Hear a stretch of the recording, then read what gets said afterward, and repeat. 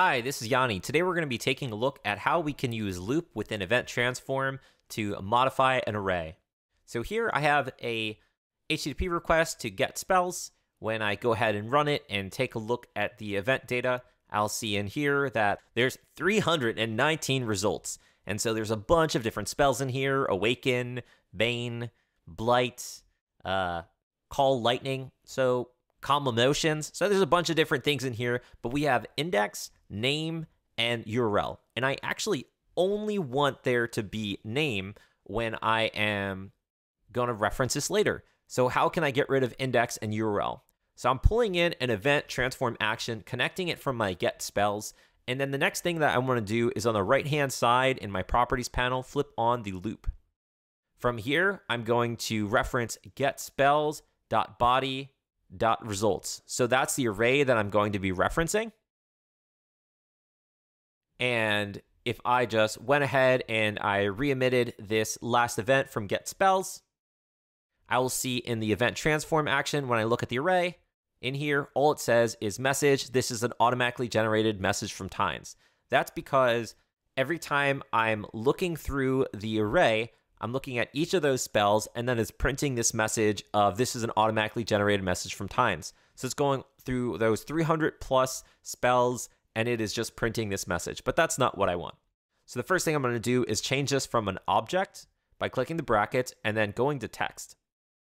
And then in here, I'm going to click on the plus and then value to pull up my formulas. And then I'm going to type out loop. So loop is going to allow me to reference things that are happening in that array. So I'm going to do loop dot value dot name. And you'll see acid arrow on the bottom right hand corner. So I know it's just referencing that value altogether. All right, so I'm just going to click off of that. And then what I want to do now is in the top where get spells are, I'm going to click on that, hit the three dots, and then I'm to re-emit last event. And let's take a look at the event transform action now in the payload, we will now see that it just says the name of the spell. So it doesn't have the key value pairing and it doesn't have the three different objects that we have from the get spell here. So it doesn't have the index, name, or URL. So we're essentially taking that array and then we're reformatting it to just give us the information that we want. All right, let's hit the text and change this to an object. And I'm to just call this name of the spell and then I'm to hit the plus, and I want to add in another item into this array. And let's actually get the the number of letters that are in the spell. So for whatever reason, let's just do number of letters in the spell. And I just want to show something real quick. If we do the plus and value, so here what I'm going to do is I'm going to grab the loop dot value dot name again, but we're going to use a function to figure out how many how many letters there are. So at the beginning, I'm just going to write size and I'm going to click on that function. It's going to wrap loop dot name that value and I'm going to see 10. So that's how many letters there are in that given spell.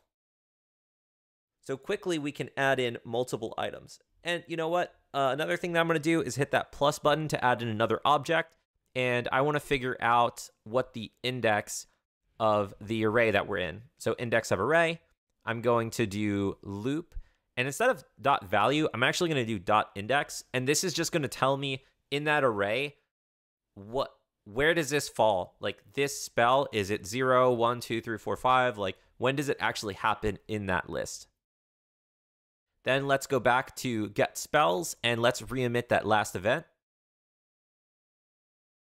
When I look at the event transform now, I look at the array, it's been updated. So I have the name of the spell, number of letters in the spell, and I have the index of the array. So I've completely transformed the original array that we had with the different objects and I'm just taking some of that data and I'm making some modifications as I'm going through. And here we can see what the original looked like where it just says index, name, and URL, which didn't really give me the information that I was hoping for or looking for.